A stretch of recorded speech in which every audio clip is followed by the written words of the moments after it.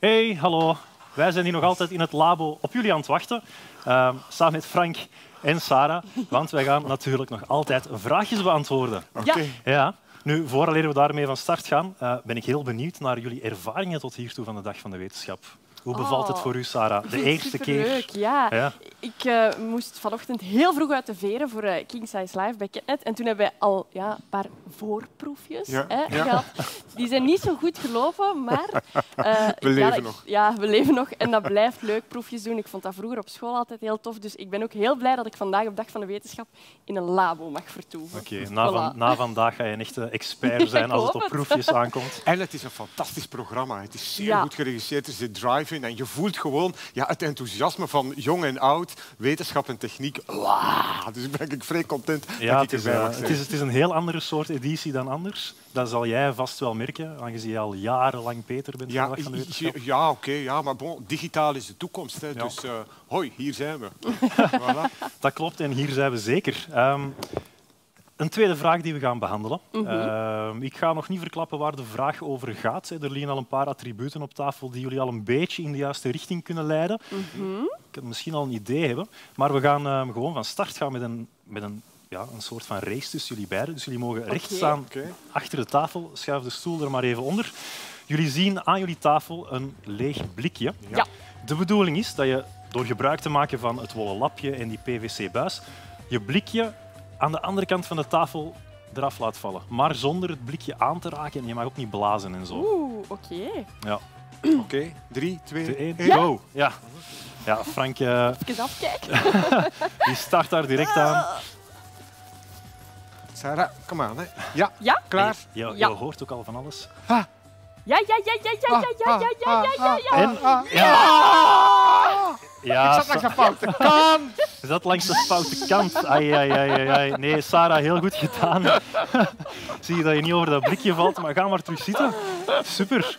Ehm, ja, Frank, ik zag jou direct wrijven over die PVC-buis. Je had dus al wel heel snel een idee waarover het zou gaan. Ja, statische elektriciteit. Hè. Staatselektriciteit, ook voor jou Ja. geen geheim natuurlijk. Nee. Nee, de vraag was inderdaad, hoe komt het dat we in de winter zoveel meer last hebben van statische elektriciteit?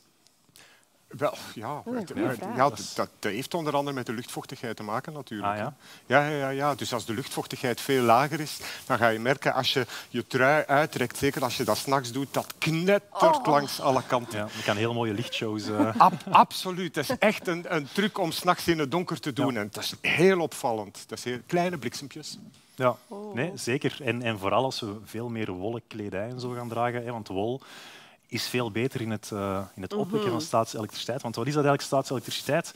Ja, dat zijn elektronen die worden overgedragen naar wrijving tussen verschillende ehm, objecten.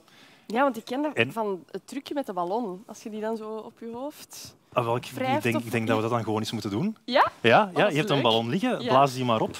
Hè, want met staatselektriciteit dat is natuurlijk lastig als je daar schokjes van krijgt. Maar daar valt ook heel veel leuks mee te doen. Hè, dus we gaan gewoon een paar toffe experimenten tonen om thuis te doen met die staatselektriciteit. Ik ben wel niet zo goed in ballonnen knopen. Ik hoop dat het lukt. Deze was gelukkig ook geen race. Oh, oh nee. Een half uur later. Ja. Oei, mijn vingers zitten vast. Ja, ja, ja, ja. Ja, oké. Nu, voilà. natuurlijk moeten we die ballon eerst nog een beetje opladen. Dus net als met die PVC-buis Mhm. hè, mag je met dat wollen doekje er sowieso over wrijven. Zo. Ja. En dan eh, moet je maar eens kijken of het gelukt is met die ballon. Om daar Dat dan, ja, maar één manier om erachter te komen.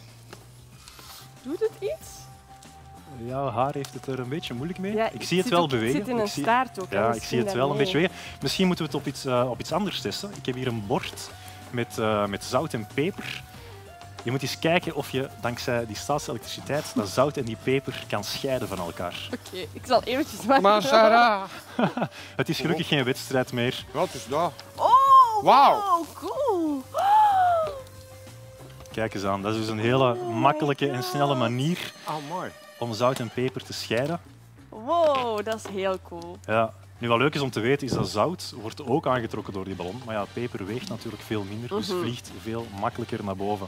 Ja. En bij Frank is het bijna gelukt. Frank geeft het op, maar dat is niet erg. Eh, Frank, Jij mag eens eh, proberen om met die PVC-buis eens kijken wat het effect is met van die papiersnippers. En mag, ja, die van jou hangt nu al vol. Ik ga jouw Ah, buis even overnemen, Sarah. Ja.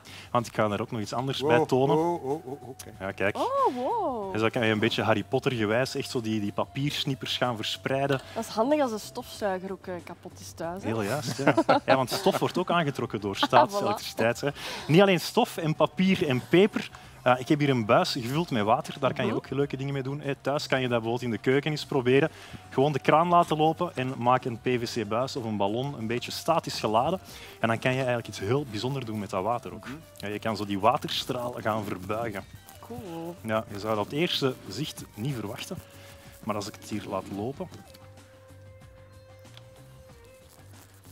En ik hou er dan die buis bij. En dan gaan we hetzelfde effect hebben als waar er net bij jou even misging, Frank. Ja.